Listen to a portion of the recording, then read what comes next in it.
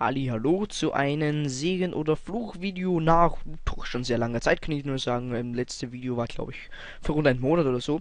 Aber jetzt gibt's wieder etwas, und zwar Segen oder Fluch. Heute geht zum Thema so ein bisschen auf den letzten Drücker. Segen oder Fluch, das mache ich auch eigentlich immer nur so, wenn das Siegewerk dann auch da ist. Und jetzt hier geht es um den Interstallmeister Express Segen oder Fluch. Warum letzte Drücke? Weil, ähm, ja, da geht jetzt hier rund bei mir um den, sind ja nur noch eine Stunde. Heute in dem Fall fährt er ja wieder weg.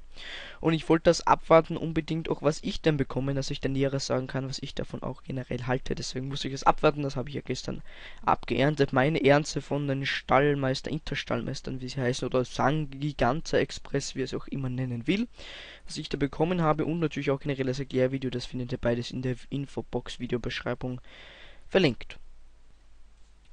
Also kommen wir nun endlich auch zum Thema. Ganz kurz Interstallmeister. Aktuell ist es eben Stand der Dinge. Mal gucken, was das nächste Mal dabei ist. Ich denke, da wird das nächste Mal vielleicht was anderes dabei sein.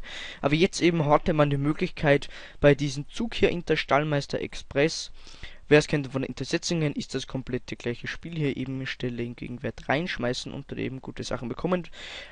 Riesenstelle hieß es diesmal und zwar Schwein, Pferd und auch von, hier kann es auch nochmal zeigen, von der Ziege.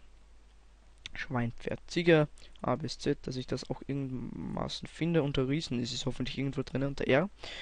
Gut, und was bringen diese? Und da werden wir eben schon Segen oder Fluch. Ist das gut oder ist das schlecht? Hier haben wir riesen Schweinestall, was ich da in etwa so bekommen habe. Bis dato habe ich sieht eben so aus bei mir. Man kann allerdings nicht nur die bekommen, man kann auch Rentierstall Classic Plus Plus beispielsweise bekommen. Den habe ich nämlich ergattert, was sehr, sehr gut ist. Oder auch Classic Plus und natürlich die ganzen orangen Upgrades beziehungsweise Classic Plus bei den anderen, wo es eben noch nichts gibt, wie beispielsweise Biber.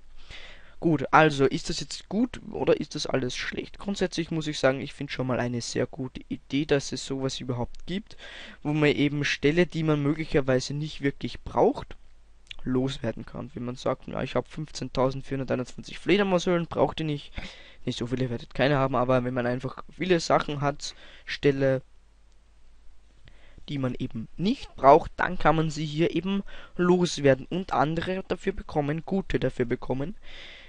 Was ja, jedem seine ist natürlich, ob er es tut oder nicht und was natürlich auch sehr, sehr gut ist, auch ein großer toller Aspekt an der ganzen Sache ist natürlich, es ist völlig kostenlos. Also es kostet nicht 10 TG oder es kostet nicht 5 TG einmal hier den Zug abfahren lassen, sondern das könnt ihr so oft tun für kein Geld, außer ihr kauft euch hier, das kann man auch für TG, könntet ihr auch hier kaufen wenn ihr eben keine Stelle oder so habt, aber meistens ist dann wahrscheinlich auch in Zukunft so, wenn der Zug ist, ist, ist der übers Wochenende hier der San Giganta Express und dann ist auch der normale Stallmeister, wo ihr Stallmeister kaufen könnt und da dann, dass ihr was habt zum Reinschmeißen, wenn ihr es nicht habt.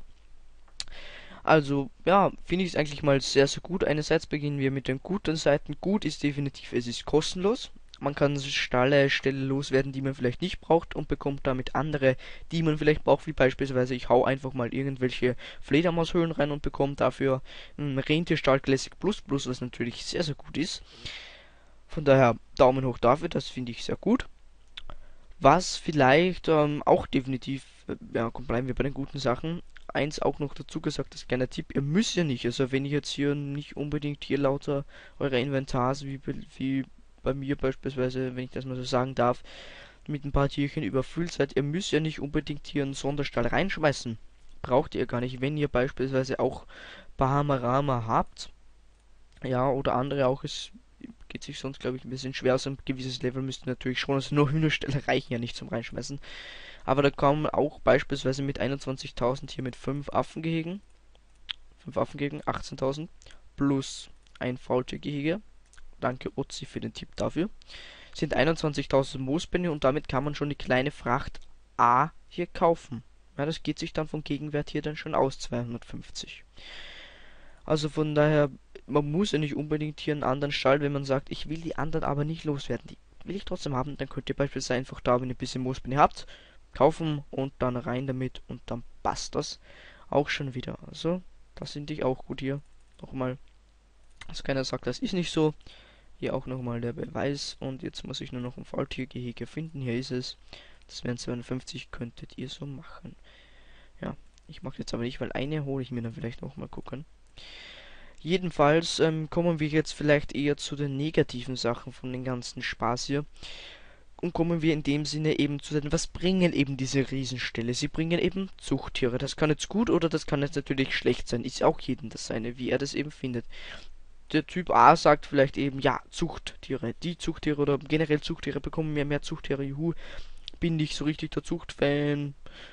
Ja, wäre es uninteressant möglicherweise, aber vielleicht, ja, züchte. Und wenn ich immer mit den Grundtieren züchten, viele anderen auch haben, na, dann ist das schön. Sonst eben, das entwertet natürlich die Zugtiere auch ein bisschen, bis dato nicht extrem, aber ein bisschen vielleicht.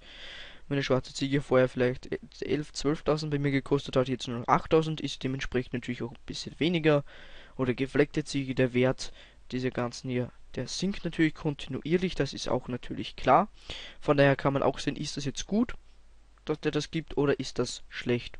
Muss auch jeder für sich wissen meiner Meinung nach, solange jetzt da keine Angora-Ziege oder dann noch weitergeht hier, noch was Höheres bringt, wäre meiner Meinung nach dann wirklich schlecht. Aber so, bis jetzt, die schwarze Ziege, gefleckte Ziege, damit kann ich vollkommen leben, habe ich nichts dagegen. Ich finde es keine Entwertung oder so, das ist nicht wirklich krass, weil sind auch nicht so hoch.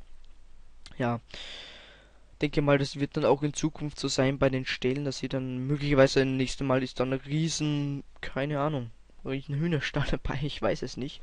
Aber irgendwelche anderen Riesenställe, wenn man da schon anfängt, wird man, denke ich mal, auch weitermachen. Ja, meiner Meinung nach ist es ist schwer, ja negative Aspekte aufzuzählen. Vielleicht ein bisschen die Entwertung, kann man sagen. Ja, vielleicht eben, jetzt kommen wir vielleicht noch dazu eben, wenn man, man kann natürlich auch Pech haben und hier eine Fledermaushöhle reinschmeißen und da bekommt man orangen Pferdestall raus. Das ist natürlich blöd. Das wäre natürlich auch ein negativer Aspekt, so ein gewisses Risiko.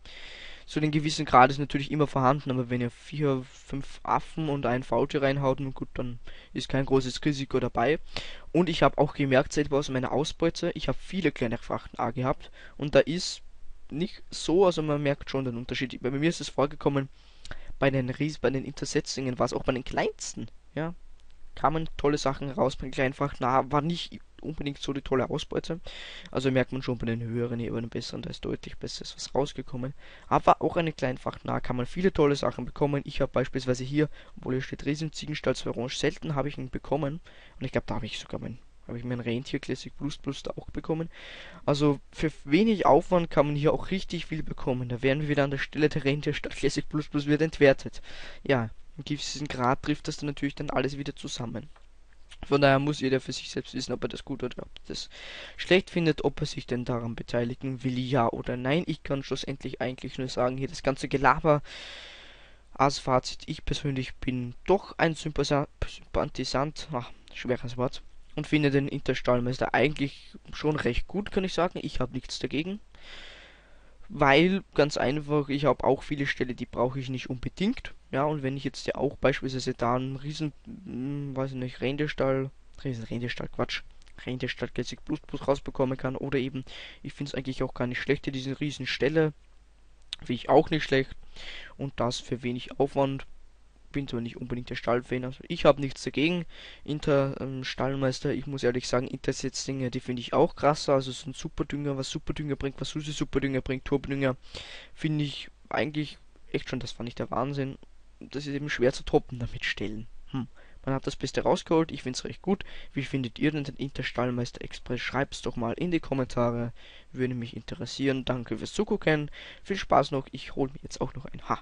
53 Minuten, oh, das geht sogar gar nicht mehr aus. Schande, aber ich habe noch einen, glaube ich, im Inventar. Den stelle ich noch auf und bin gespannt, was rauskommt. Euch noch viel Glück. Könnt natürlich, müsst ihr nicht gezwungen, ihr könnt natürlich auch, wie ich gemacht habe, einfach mal ansparen und dann gleich mehrere abernten. Ihr könnt es auch, ihr seid nicht gezwungen, jetzt hier während der Zeit diese dann aufzustellen, abzuernten. Ich habe beispielsweise auch noch nebenbei dazu gesagt. So, sie auslädt. Also ihr könnt diese holen und aufstellen quasi, wenn, wann ihr wollt. Könnt ihr auch in drei Monaten mal aufstellen. Bleibt alles euch überlassen. Ich habe auch noch ein Sprössling Gruppe B von den Intersetzingen noch dazu gesagt. Sehr schön. Ciao. Bis zum nächsten Mal. Gut.